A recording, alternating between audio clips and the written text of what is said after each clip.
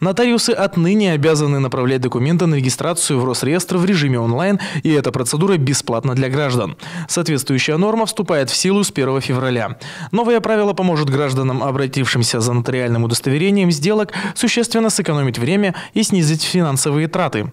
Кстати, как подчеркивают эксперты, аналогичная обязанность бесплатно подавать документы в Росреестр возникает у нотариусов и после выдачи свидетельства о праве на наследство, о праве пережившего супруга.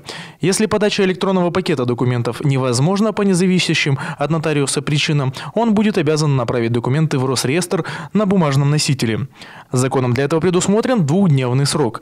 Гражданам в любом случае не придется никуда ходить, и тем более не надо будет обращаться к каким-то посредникам.